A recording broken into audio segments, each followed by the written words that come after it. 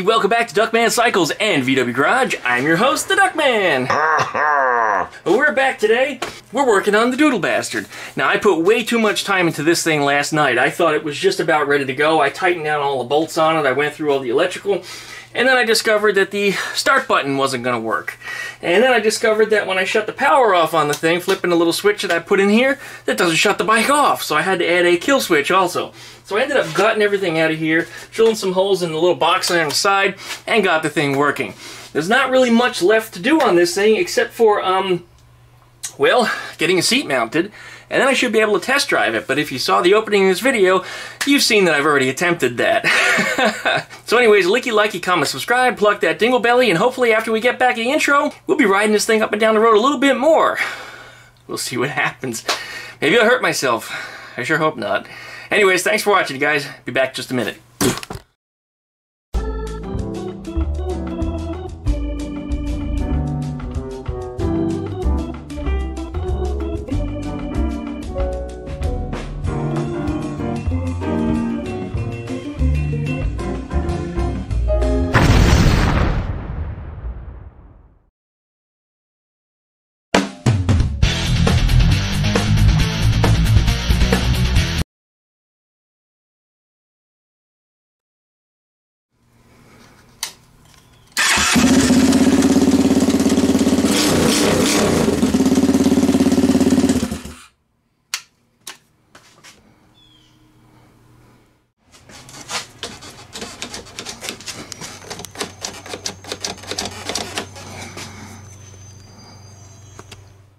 All right, well, we're back. I don't believe it.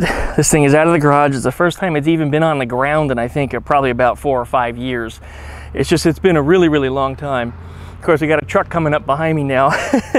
when I was pushing it down the driveway, I grabbed that rear brake and that rear brake just uh, didn't seem to cut it. So here's hoping that this thing is, um, we'll just let him pass. So as I was saying, when I first took this thing out and I started to roll it down the driveway, I grabbed that rear brake and it just didn't seem to be working adequately. I sprayed a little bit of brake cleaner on the rear disc there to see if it would make any difference and it seemed to help. So we'll see what happens. The seat is just held on by some zip ties right now. Probably not the most safe thing, but I think for a little test ride, it's really not going to make that all much difference. So here we go. Let's go ahead and get this thing fired up. Helmet Oh yeah. I don't know how far this microphone is going to go, but here's hoping that it goes far enough that you guys can see and hear me as I'm riding.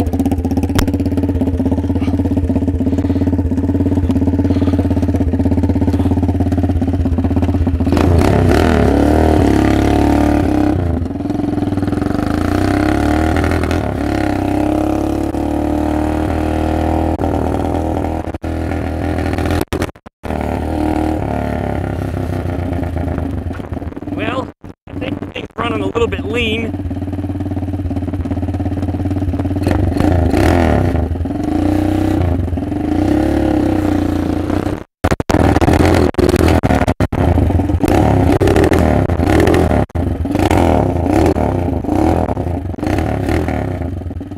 I think we're having a little fuel delivery problem.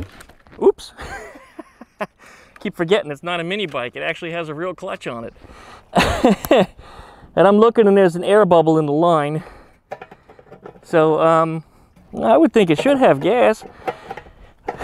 Just like it's running really lean. I don't quite get what's going on here.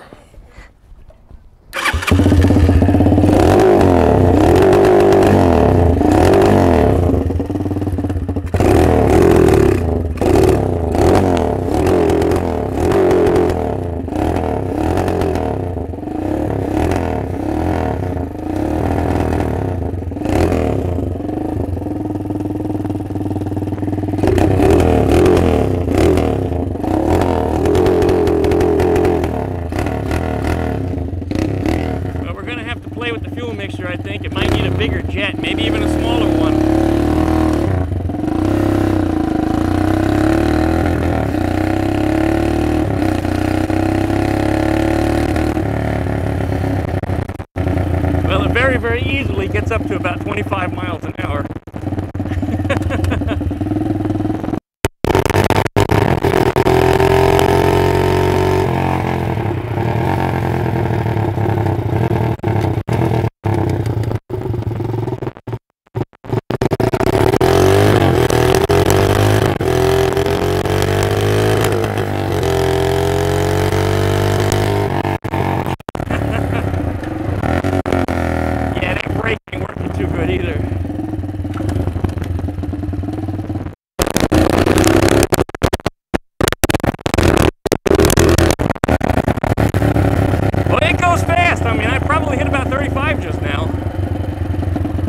It's still got a lot more.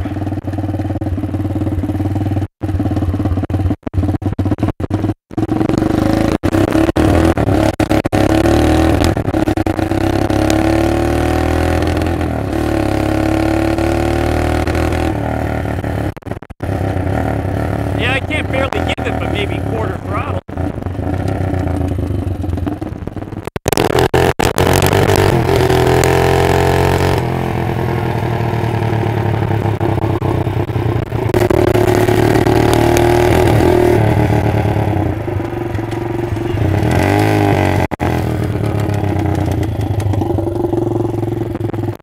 I will admit, I'm afraid to wheelie on this thing.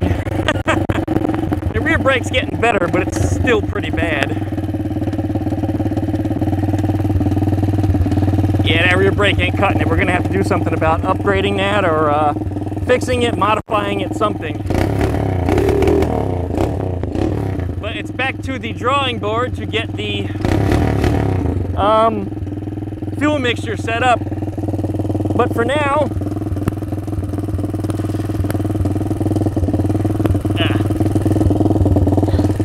Oh, my switch won't turn it off. There it is. Just stall it.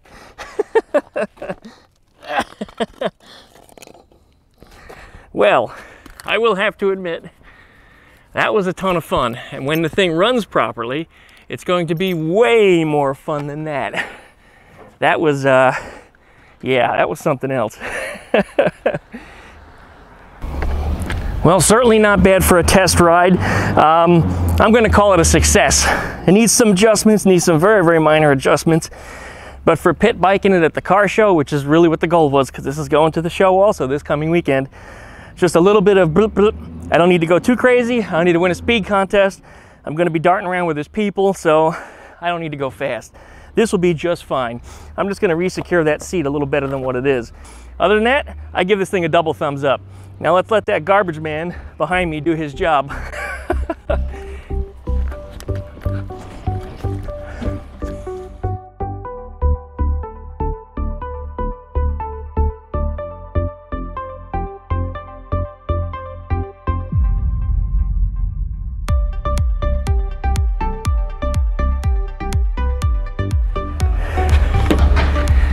yeah, that was a blast. Yeah.